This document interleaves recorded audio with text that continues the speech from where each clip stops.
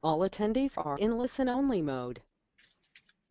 Welcome to the Alertus webinar series. My name is Jamie Underwood, Director of Marketing Communications at Alertus Technologies.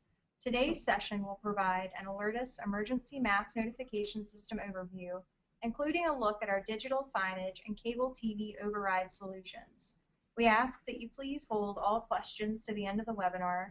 However, feel free to type any questions in the chat box during the presentation and we'll be sure to come back to those during the Q&A at the end of the session. This webinar is being recorded, so please email marketing at alertus.com if you're interested in receiving video from today's webinar. I would now like to turn it over to today's webinar presenter, Alertus's National Sales Director, Ryan Oakley. Thank you very much, Jamie, and uh, appreciate everybody taking the time to join us this morning to learn a little bit more about Alertus and also our uh, cable TV and digital signage over override uh, capabilities. Uh, for the purpose of this webinar, uh, the first part will be either new or review for, uh, for some of our customers and, and prospects, uh, where we'll review the Alertus system, touch on a lot of the capabilities, challenges and problems we solve, as well as going through a focus on digital signage and desktop to uh, provide a little bit more insight on how we're able to integrate and bring a lot of those assets you have on campus together for a unified activation. So a quick overview of the webinar. We'll do a, a touch on the Alertus background.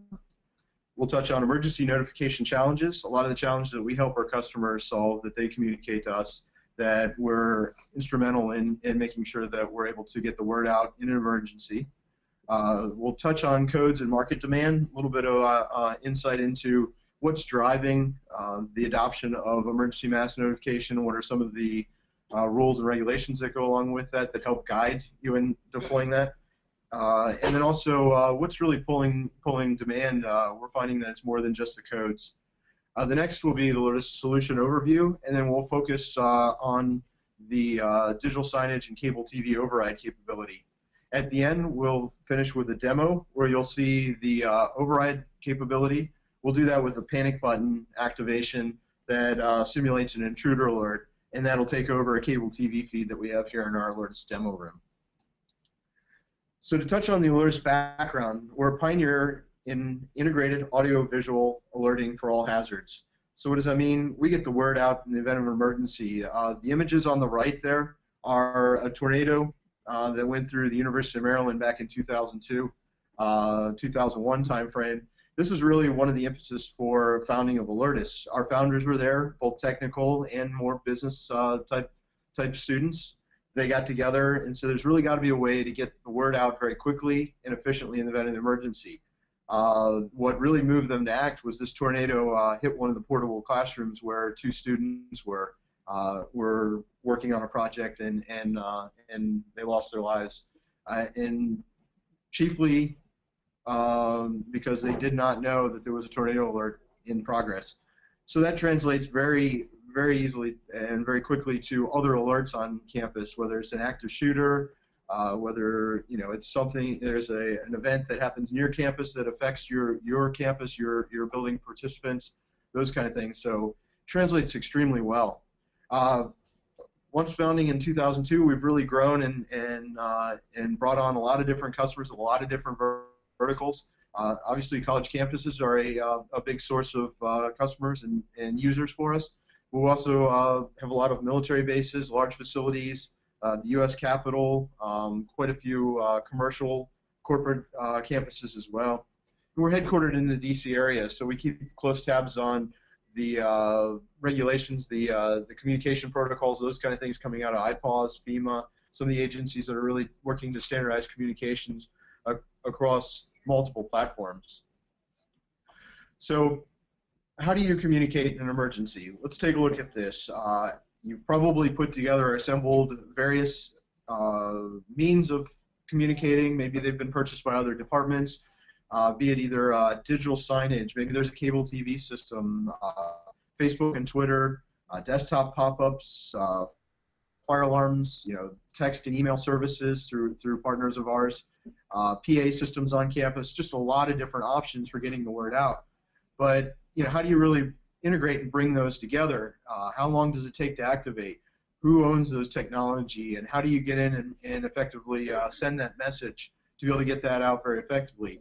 So there's a lot of assets. How do you bring that bring that all together? Alertus provides console for activating that unified activation, and then interface points to all these different things pictured, whether it's text and email services, digital signage and cable TV, which we'll cover today, your fire alarms, outdoor giant voice, uh, VoIP phones, uh, you name it. We're able to activate and uh, control those elements in an emergency and do it very quickly and efficiently.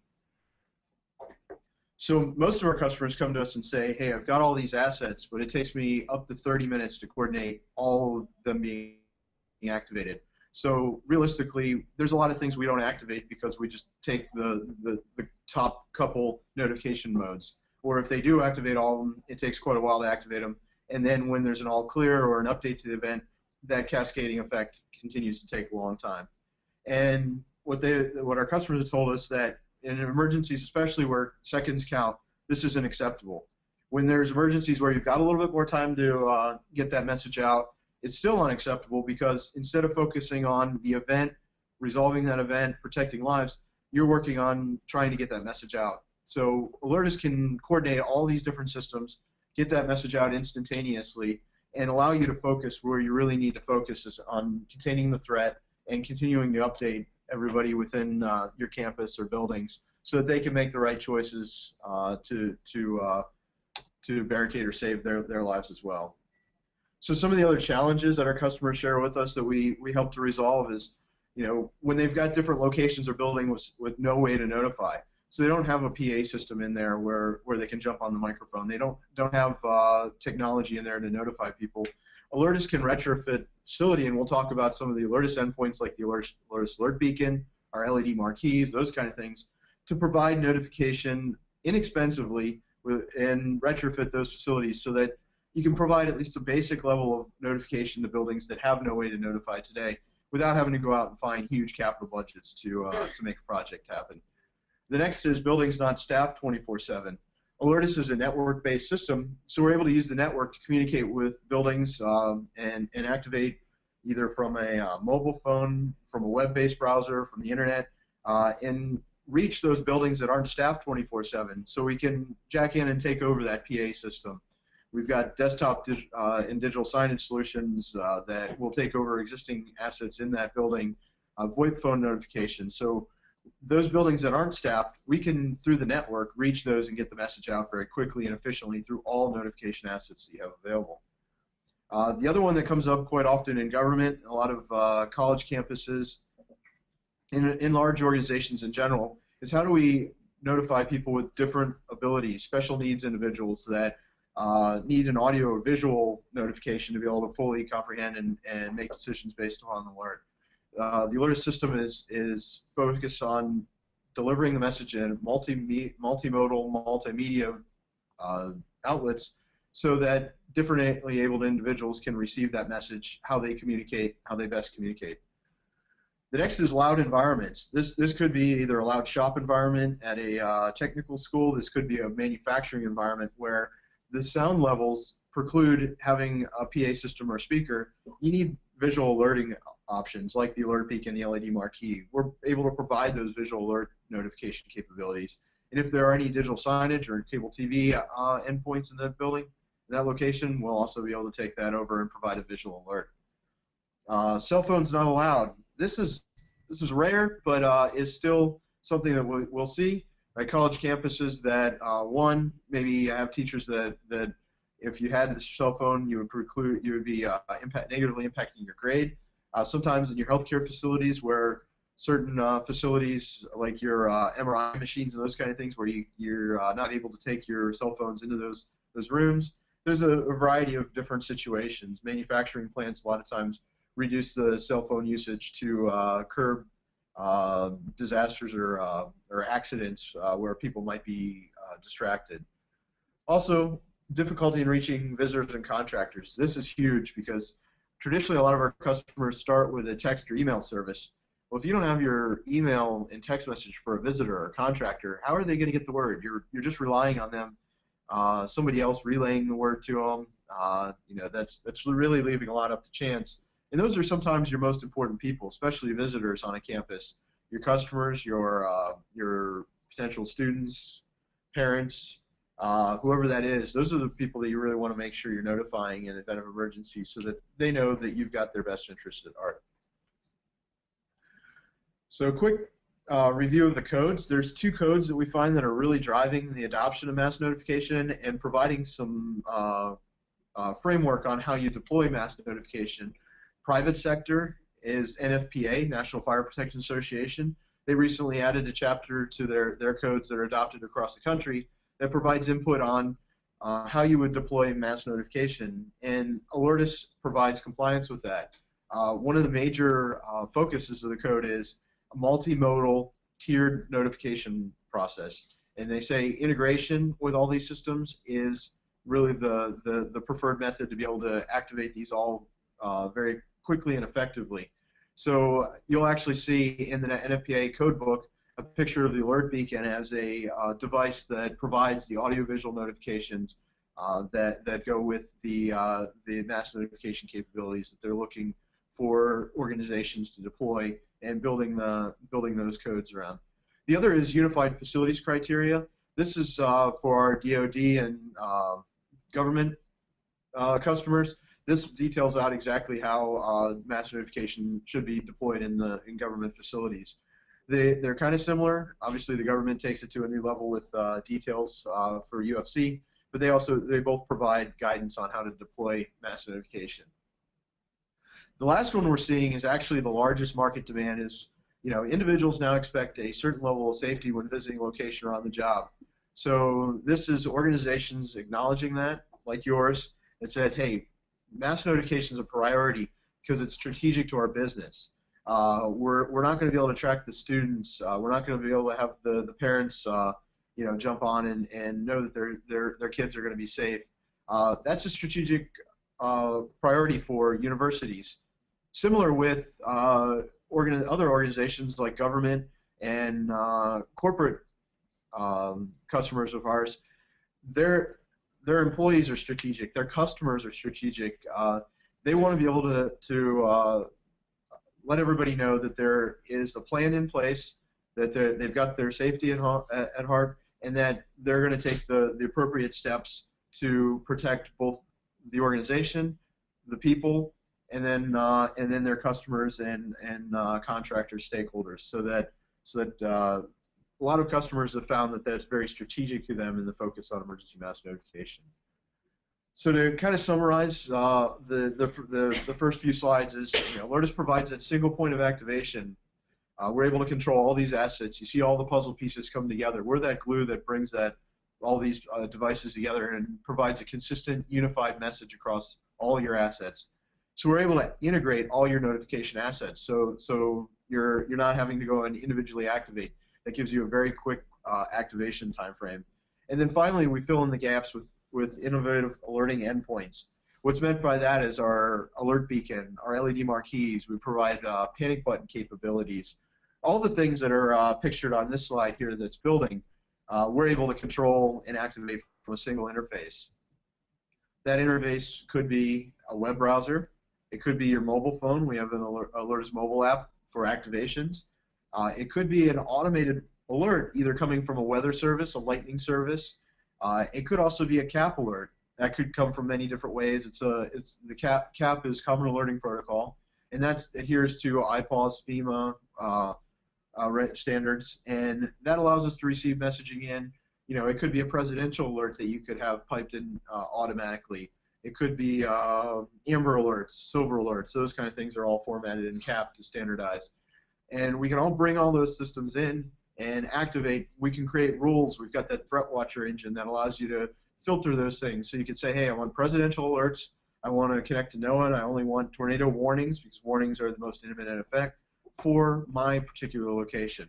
And then you can filter out all the other extraneous alerts. If you wanted to automate any of those things, you could also have it sent to a small group that could be viewed and then sent out to a larger group. So activation brings that all together.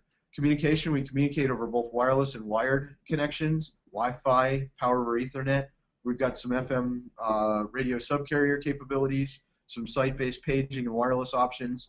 So we can provide a lot of different options for connecting your devices, like the alert beacon, that flash sound, display the message, take uh, and and attract attention. Uh, those devices are power over Ethernet or Wi-Fi or FM or, or wireless enabled and can be very easily uh, installed in your buildings. I had mentioned earlier about retrofitting a facility with no notification assets. That alert beacon is perfect for that. Uh, the LED marquee there provides a larger form factor. So if you've got high occupancy lobbies, uh, classrooms, uh, facilities, manufacturing floors, that provides that larger form factor of the, uh, the visual notification. We can also integrate with other devices like our uh, panic button to actually notify individuals. So you can have a panic button for an intruder alert, which is the demo I'll be providing for the cable TV interface. Uh, we provide the ability to take over uh, desktop computers. I mentioned earlier we can do text to speech to PAs and fire evac systems. So if you uh, you've got a text-based message, we can convert that and use those voice-based assets. Same with uh, text to speech to our giant voice. We're able to optimize text to speech, slow that down, provide the appropriate pauses so that it's intelligible over outdoor speakers if you have those. We also have the ability to provide those speakers for you if, if uh, need be, if you don't have solutions like that, cover large area outdoor areas, um, you know, be it parking lots, you name it. Uh, we're able to uh, provide a solution uh, to cover those large areas as well, and chiefly leveraging the text-to-speech capabilities. The VoIP phone capability as well. Uh, we support major manufacturers for VoIP phones to be able to take those phones over display the message on the screen, play uh, audio tone as well. And then lastly, which we'll be focusing on, is our digital signage override and cable TV override. We're able to take over multi-vendor vendor systems, so both digital signage and cable TV. So if you have multiple systems across campus, uh, maybe it's Visix, Scala, uh, different people bought different systems, different organizations within uh, bought different systems at different times for different reasons there's any number of reasons why you might have multiple vendors for digital signage. We're able to co- communicate with all those, bring those together, and take them over uh, from the single interface. And then cable TV as well. We're able to integrate with multiple versions of cable TV, uh, head-end systems, uh, cable TV distribution, to be able to get that alert out very effect- effectively. So to jump in a little bit more details on digital signage and cable TV override, Digital signage and cable TV systems can easily transmit emergency communication in public high occupancy areas. Those are signs that you probably already have around your facility that we can take over and leverage as part of your emergency notification uh, strategy. Digital, digital signage override software transforms devices into intelligent emergency alerting appliances. 99.9% of the time, it's displaying whatever your organization wants to display, whether it's production statistics, uh, Wayfinder, uh, information about um, whatever's going on in your building. 99.9% of the time is there. Intelligently, Alertus can take it over in the event of that emergency, and not only take that over, but also whenever that uh, cable TV ride conclude override concludes, we'll provide and transition that content back up smoothly. So there isn't any um, any going back and having to put additional content back up or turning things back on it's a very automated process that, that, is, that provides minimal disruption. Uh, cable TV override overrides all screens and channels with a full screen notification. And both digital signage and cable TV override software integrates seamlessly with wall-mounted alert beacons, other devices, LED marquees. Uh, panic buttons could be activating digital signage and cable TV as well as our other devices, desktop, you, you, name it. We're able to uh, include that as part of your activation. So some key features of uh, digital signage and cable TV override is that it rapidly is rapidly deployed and can be launched via our activation console uh, from any computer or mobile device. It's customizable. Overrides existing display with customized full screen alert message scrolls to allow easy viewing from distance. So we format in a, in a way that uh, is very conducive to um, using those, those display methods personalization. Uh, the alert can be personalized to your organization, displaying your organization's logo or any kind of uh, personal identifier. So when people see that, they, they don't see it as uh, part of the content, they actually see it as something that's coming from an official source within your organization and uh, know to take action. Also, through the multimodal pre- approach, they'll probably other see, see other uh, notification modes like desktops, alert beacons going off, in addition to the digital signage, and, and really emphasize that alert. And then finally, it's integrated. Its uh, software is designed to interface with external devices, including wall-mounted alert beacons, uh, LCD screens, LED marquees, uh, digital media displays. So any of the different display technologies you have, we're able to integrate with those. So how it works, an emergency alert can be initiated through a variety of sources. You know, your Alertus console, the mobile app, panic button, so that message comes into the system. Uh, the notif- you can select whether digital signage is used based, based upon the uh, notification that you're sending. Uh, notification points check in with the server periodically to determine whether an alert has been initiated and devices are active and disabled. This is a key point. This uh, the Alertus system is fully monitored and supervised. That's a requirement of the codes that at any one point in time, that if one of your devices goes offline, one of your connections, we're able to report that, and you're able to address that uh, without uh, without delay. So uh, the the system's a full-time monitor. We also report on when that digital signage and cable TV is activated, how long it's activated, uh, and then when it's when it's uh, finally uh, ended or, or deleted. So you're able to report on every step of that. So finally, once it's acknowledged uh, and disseminated, the alert uh, goes to multiple uh, endpoints, and you've got control on where that goes. So to go get into just a little bit more detail for, for those that are a little bit more uh, technical about things, uh, cable TV override options. There's a couple different ways we do it, depending on the way you deploy your cable TV. We can either connect into your head-end system, which is larger campuses a lot of times run these, we can connect into a lot of the emergency broadcast equipment that's in place and required by law today. So you may already have the equipment required to, to interface with your KB, cable TV system. We simple, simply have developed to those systems so that we can activate in the event of emergency. So we become your own personal campus emergency broadcast system, EAS system. So it's the same broadcast system that's activated federally. We just provide, and the, the, the uh, codes allow for you to control that locally through the Alertus inter interface. If you don't have that, or and or want to go with uh, instead of just the text-based uh, screen takeover for cable TV, we can set up and uh, and take over those uh, cable TV uh, channels, switch it to a uh, to a PC-based or server-based multimedia display processor that allow you to do a, a full scrolling, do more of a multimedia design and setup than than relying just on text like an emergency broadcast system. So really scan, scan, uh, span the gamut on, on how fancy you want to get there. Uh, the other options for digital signage, it's slightly different technology. So the, uh, the key ways that a lot of our customers will do that is we'll either interface directly with the content management server. So this is what controls what's being displayed on all the different TVs. So we can go in and, and activate those, activate that uh, with, through, through your network. And that then takes over all the screens based upon that. Uh, there's also a way to go through and really target the players that are actually at the uh, at the screens. So we can target based on individual signs, locations, IP addresses, those kind of things, uh, and then also control multiple different signage systems with different players and be able to really bring together that multimedia, um, multi-vendor uh, digital signage takeover and provide solutions depending on whether you've got just a basic system sitting out there in building or a very sophisticated content management system, we've got a solution to provide digital cable TV activation for all those different scenarios. So with that said, uh, we'll go ahead and jump in and I'll do a quick demo so you can see us and how we how we go ahead and uh, take over that emergency notification, how that appears within our user interface, and then also uh, you know how, how that, that appears with the uh, multimedia cable TV uh, takeover. So right now I've uh, uh brought my screen down to our uh, our our demo room here where you can see the the cable TV there with the different endpoints for Alertus.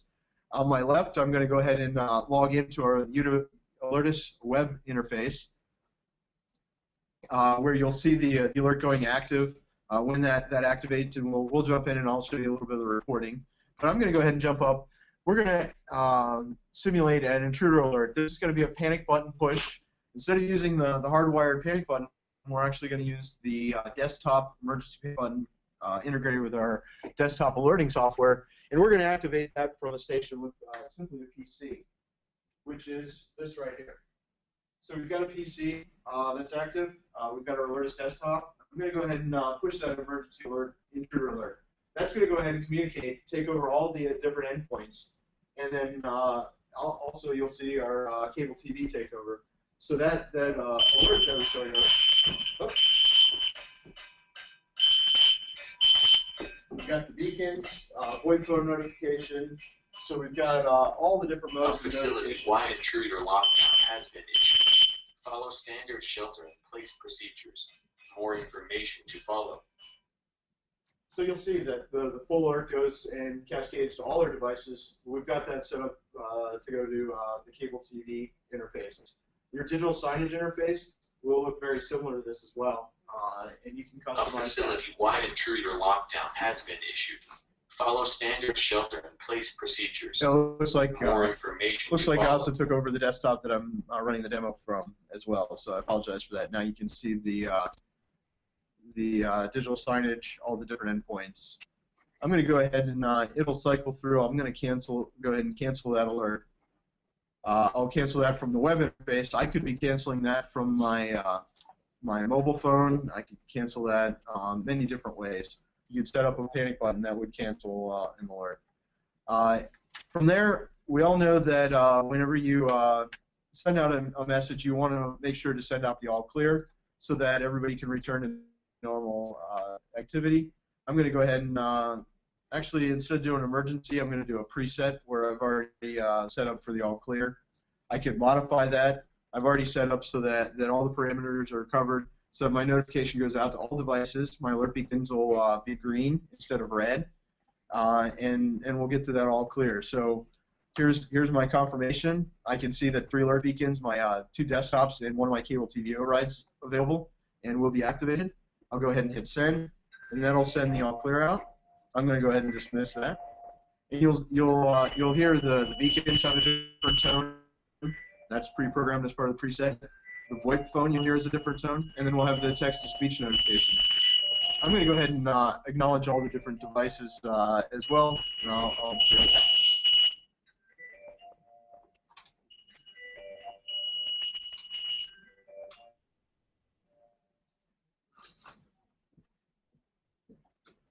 So that gives you an idea of the uh, the digital signage cable TV cap- takeovers. And we've also got it coordinated with the text to speech. Uh, that that'll be an All clear. The emergency condition is over. Return to normal activities. And then uh, just a quick uh, final points of the Alertus notification All system. clear. The emergency condition is over. Return to normal activities. So reporting is huge. I mentioned that supervision of uh, different endpoints and connectivity. So you'll see here we've got our uh, device status report. I can see each and every alert beacon. The emergency condition is over. I can uh, see each and every alert beacon here uh, that's activated, are, are, are communicating with the system, different statistics about that, our desktops, and here's our cable TV override. So we've got all the different uh, IT information related to the cable TV override. So if that ever went offline, we would know that immediately. We can set up uh, notifications for that going offline and be able to address that. Uh, so the system's fully supervised, uh, provide code compliance. Some of the other uh, reporting that we provide are the activation, uh, the alert history, the acknowledgement reports. So you'll see right here in this reporting, we've got both the uh, the alert that we sent out that was the lockdown, uh, and then we've also got details on the all clear. So I can bring that up. I can bring device activations. It's a report that provides confirmation that all our devices were, active and, and uh, confirmed. So you'll see here our cable TV override. That happened within 10 seconds of this activation. Uh, acknowledgements. Now, uh, you know, the cable TV and uh, and uh, digital signage is more of a passive notification, so there aren't acknowledgements. But you you remember seeing I got up and I silenced the alert beacons. I acknowledged those. I acknowledged desktops. You can see that reported here with the the desktop acknowledgements. We uh, track how long it took to acknowledge, when it was acknowledged, uh, those kind of statistics. And then finally, uh, for the desktop piece, we were able to track recipients, so we know exactly who was logged in at the time of that activation being uh, being received. So, uh, so reporting is a, uh, a big, big part of the Alertus system in, in confirming that all devices were activated, including your cable TV and digital signage interfaces, uh, to provide that after incident reporting. Uh, at that point, I think I've uh, I'd like to kind of wrap up the demo. We uh, touched on some of the major major aspects, showed the activation, the panic button, our user interface, showed how that all works back in with the uh, digital signage and desktop. So this concludes the demo portion. Go ahead and uh, bring jump back into uh, the slides and turn it back over to Jamie uh, to cover upcoming. Thanks, Ryan. Uh, so we now like to open up the floor for any questions you may have. Uh, we'll get to as many of those as we have time for. Uh, it looks like we already have a number of great questions that have come in.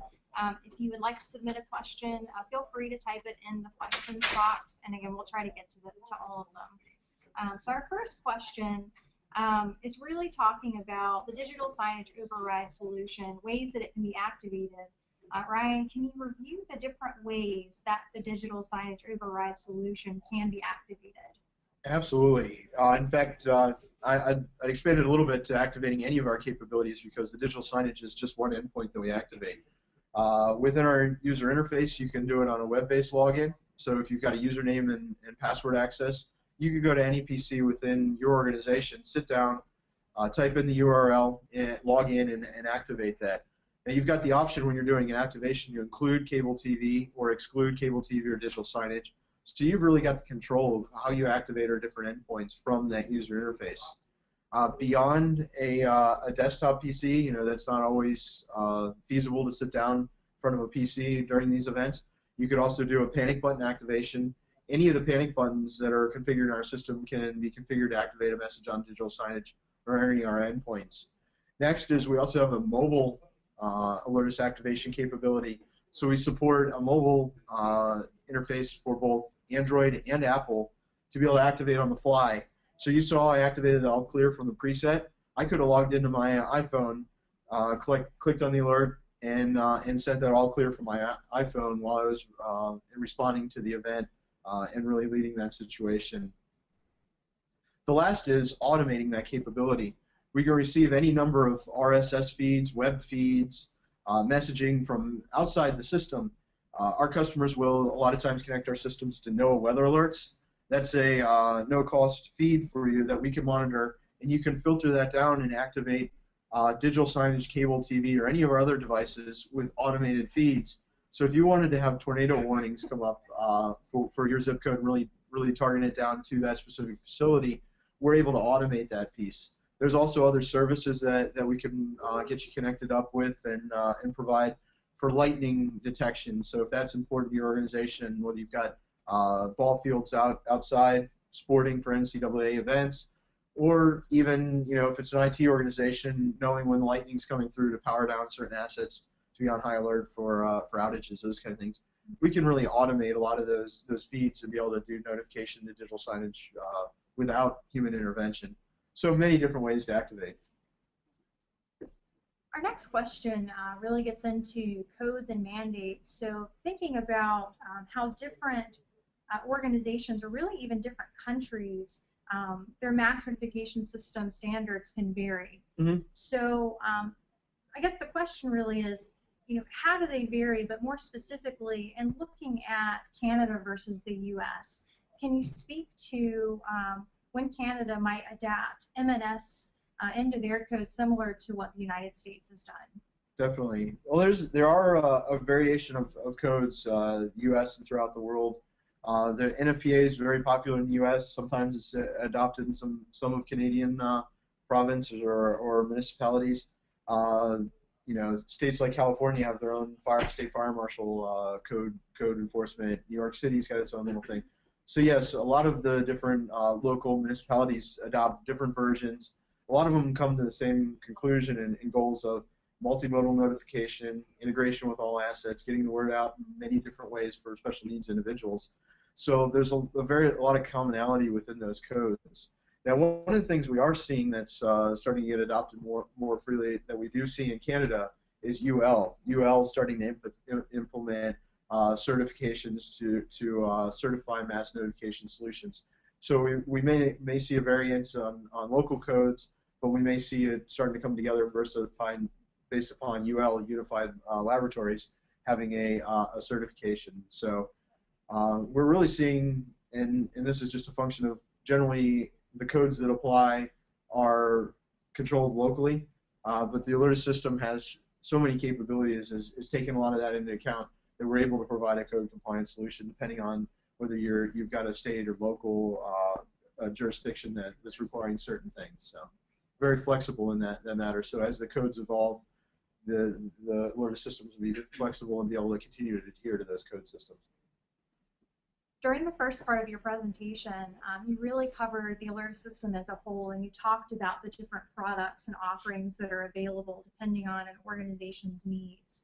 Can you go into a little bit more depth um, on the Alertus USB panic button, um, how it works, and how it integrates into the system?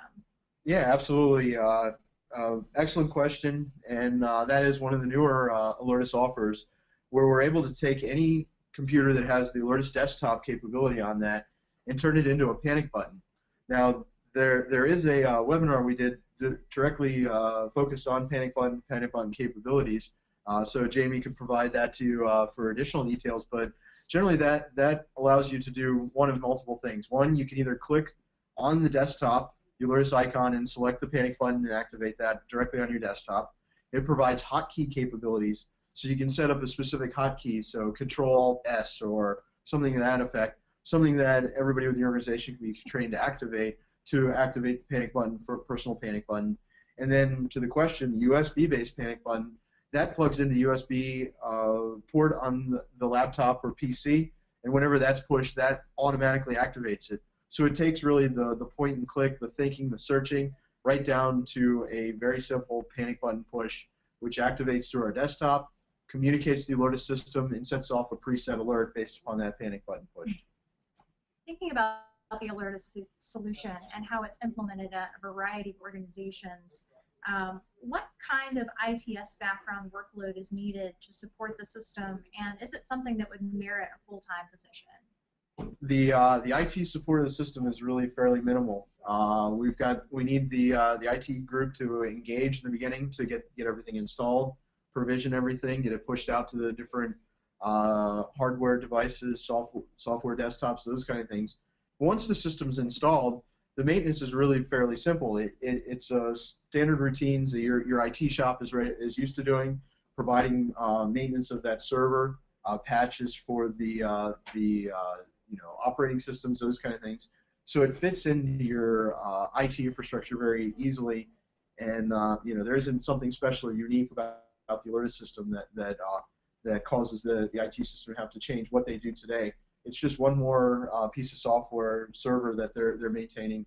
The Alertus system is very very reliable. Uh, so once it's set up, there's uh, minimal engagement, or you know it can be easily integrated into their procedures. And then from a uh, training and use and administrative uh, capability, uh, we provide uh, our support upgrades uh, packages called ENS to provide all the training and support you need. So if you know the IT person doesn't need to be an expert in the Alertus system, if they want to do an upgrade, they give us a call. We'll we'll jump on. We can do a screen share, help step them through that every process of that. If it comes to your, your activators, your users, uh, we can set up training sessions for them uh, as you uh, have new users uh, joining. So there's really no need to dedicate an IT person uh, full time or even you know part time. It becomes a part of their, their use of, their use of the system, and then when when you need that extra support, we're there to uh, provide it. So we still have time to address a number of other questions. Please do continue to submit those in the chat box, and we will get to those as time allows. Um, I would like to quickly go over some upcoming webinars. Um, we have a really interesting webinar coming up in April that's going to focus on our outdoor emergency notification solution.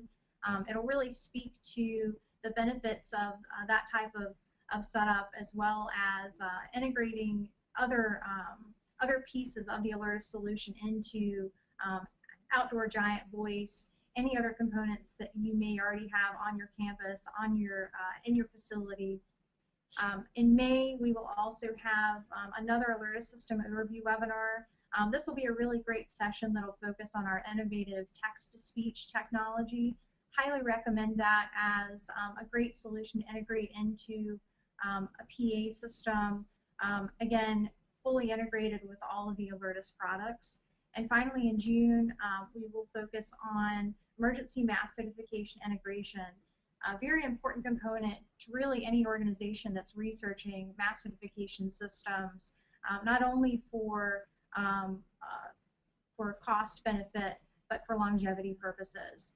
So uh, if you're interested in any of these or learning more about the upcoming webinars, um, check them out at www.alertus.com forward slash alertus webinar series.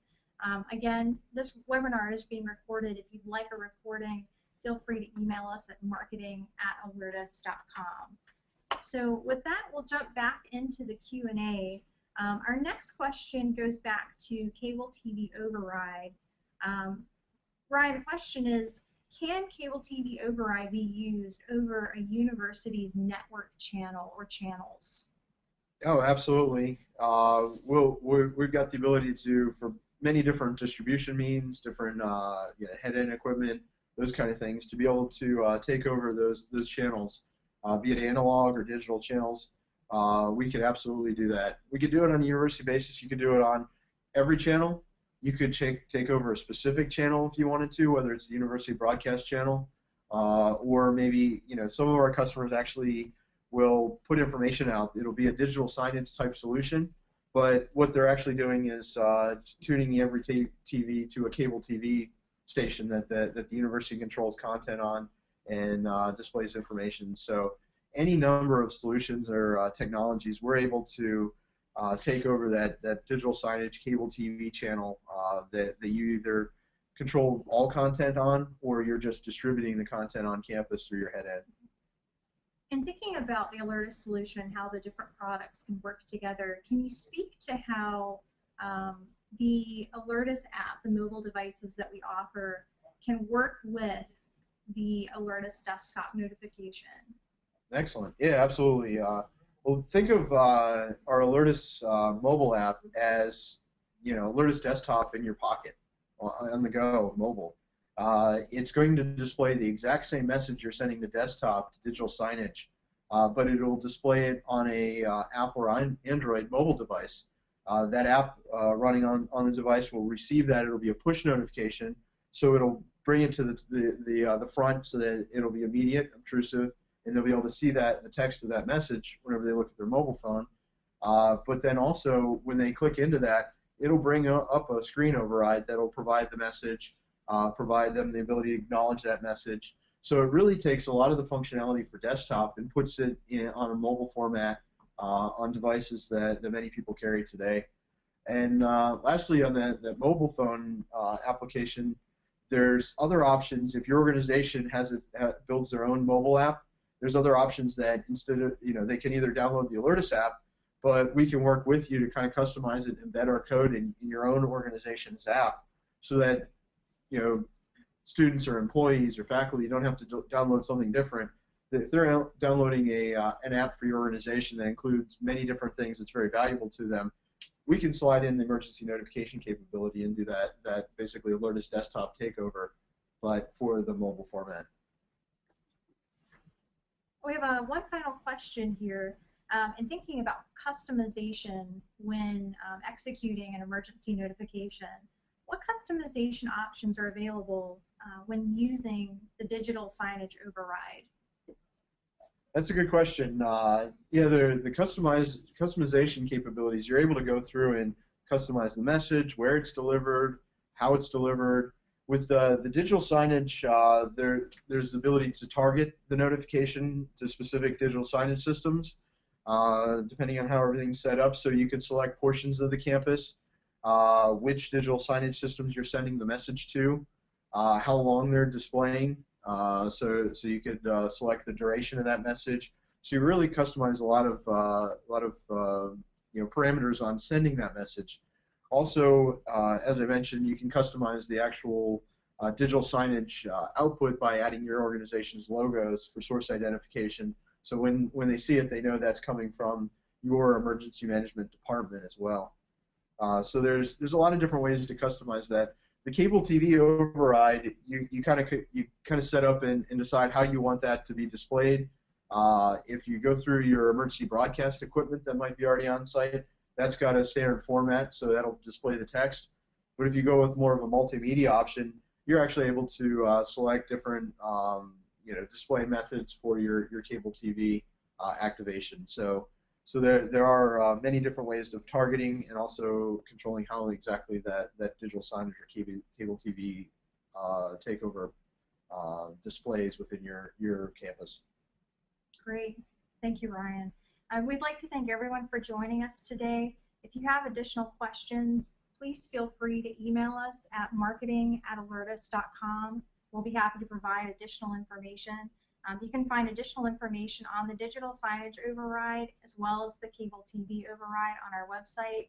Um, the links are on your screen. Um, and again, thank you for joining us. Have a great afternoon.